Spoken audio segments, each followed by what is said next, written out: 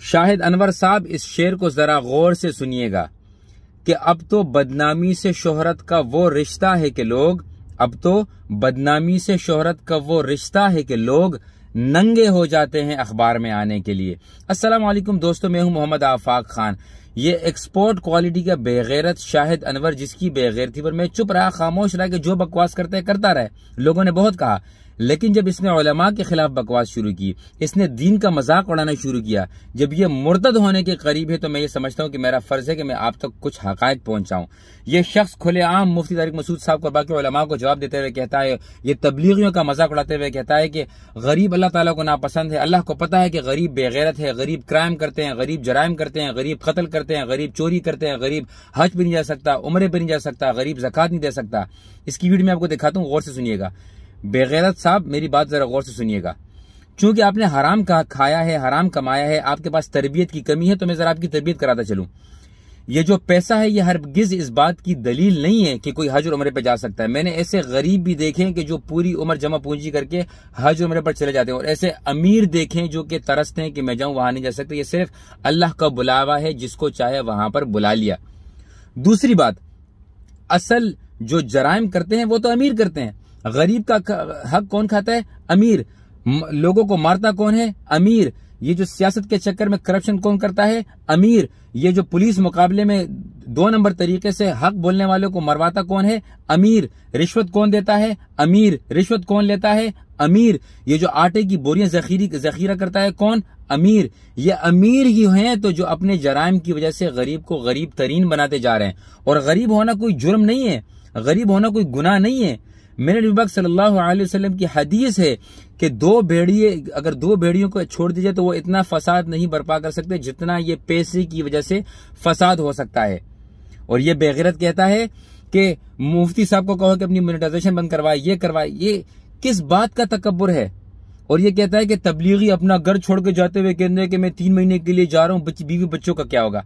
और बेगैरत आदमी ये जो तबलीगियों में जितने अमीर मौजूद हैं, तुम्हारी कोई औकात नहीं उनके सामने खड़े होने की। मैंने ऐसे ऐसे मल्टी मिलियनर बिलियनर अमीर देखे हैं, तबलीग में कि इंसान हैरान और दंग रह जाए। वो पूरी पूरी जमातों की टिकट खरीदते हुए उनको तबलीग के लिए बेचते हैं, अल्लाह की राह में बेचते हैं। ये सुन्नत है, आप सुन्नत का मज़ाक उड़ाते हो। आप ये कहते हो कि बीवी बच्चों का क्या होगा? तो फिर आप एक काम करो, पैसे दो दो फरिश्तों के कि तुम्हें मौत भी ना आए। कर सकते हो? तुम्हारा पैसा तुम्हें मौत से बचा सकता है, क्योंकि तुम्हारे बच्चों का क्या होगा? तुम्हारा तो खैर कोई खानदान है नहीं, लेकिन तुम्हारे बच्चों का क्या होगा अगर तुम मर गए? ये पैसा अगर आपको हर चीज़ से बचा सकता तो हर बंदा पैसे कमाने के लिए पागल हो जाता। लेकिन चूँकि आप में तरबियत की कमी है, एक होते हैं पढ़े लिखे जाहिल, एक होते हैं अनपढ़ जाहिल। आप पढ़े लिखे जाहिल भी नहीं हो। आप कोई पढ़े लिखे नहीं हो। Just because you speak two words of English does not mean that you are educated दो अल्फाज इंग्लिश के आप बोल लेते हैं and American style man you think that you are educated no way और वो बेगैरत यूट्यूबर्स जो व्यूज़ की खातिर इस शख्स को बुलाते हैं, उन पे भी लानत है। आप जरा देखो तो सही कि एक बंदा आपके लोगों का मज़ाक उड़ा रहा है। हर बंदा अमीर नहीं हो सकता। It's not possible no way अगर हर बंदा अमीर हो जाए तो अमीर की वैल्यू खत्म हो जाए। अगर हर बंदा कारोबारी हो जाए तो लोग भूख से मर जाए। हर बंदा बोलेगा, मैं कारोबारी हूँ, मैं क्यों किसी के लिए काम करूँ? दुनिया के डिज़ाइन इसलिए किया गया इस तरीके से डिज़ाइन किया गया है। अल्लाह ताला किसी को देकर आजमाता है तो किसी से लेकर आजमाता है। अल्लाह ताला से मांगो तो कसरत कसरत नहीं, बल्कि बरकत मांगो। क्योंकि कसरत का जवाब देना होगा, बरकत का जवाब देना नहीं होगा। मेरी आप लोगों से गुजारिश है, उन यूट्यूबर्स बेगैरतों से गुजारिश है कि जिस जिन लोगों ने इसको बुलाकर सर पर चढ़ाया, आज जरा वो वीडियो बनाए और ये कहें कि ओलमा तबलीगियों के पीछे, हर बंदे के पीछे पड़ चुका है।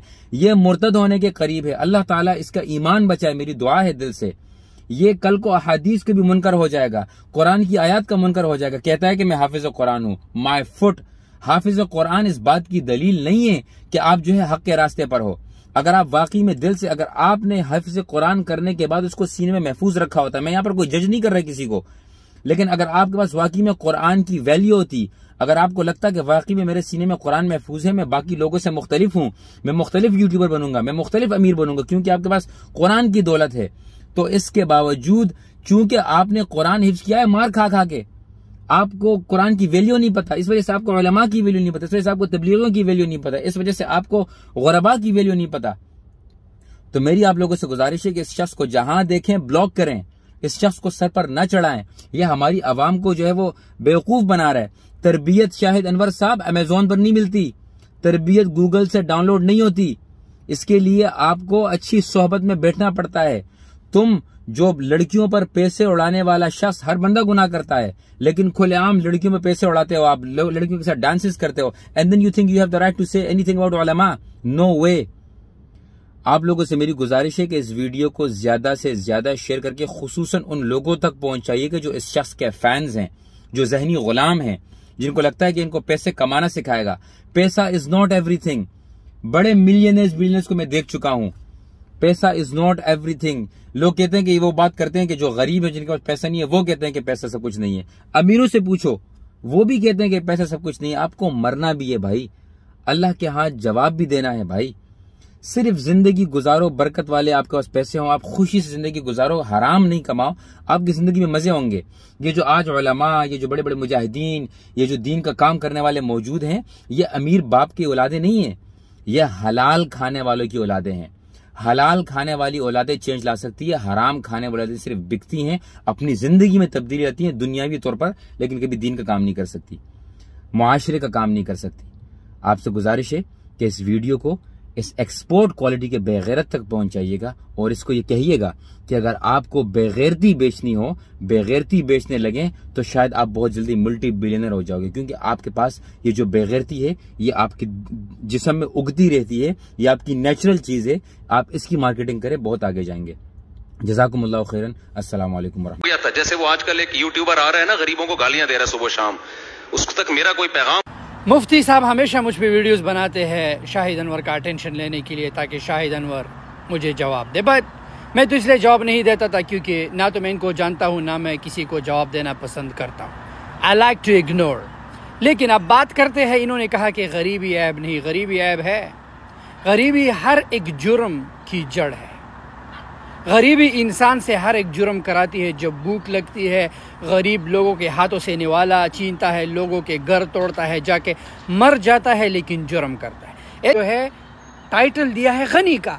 गरीब को क्यों गनी? अल्लाह को पता है गरीब बेगैरत है, ये लेने वाला है। और अल्लाह की जितने भी अहकाम इस्लाम में हज पैसे से है, ज़क़़त पैसे से है, रोज़ा पैसे से है, नमाज़ पैसे से है। अब तुम कहोगे नमाज़ पैसे से नहीं, जिस मस्जिद में तुम बैठे हो, जिस माइक में तुम बात कर रहे हो, जहाँ पे तुम वज़ू करते हो, इलेक्ट्रिसिटी, वो तुम्हारा बिजली का बिल, तुम्हारा बाप भर रहा है, कोई भर रहा है राइट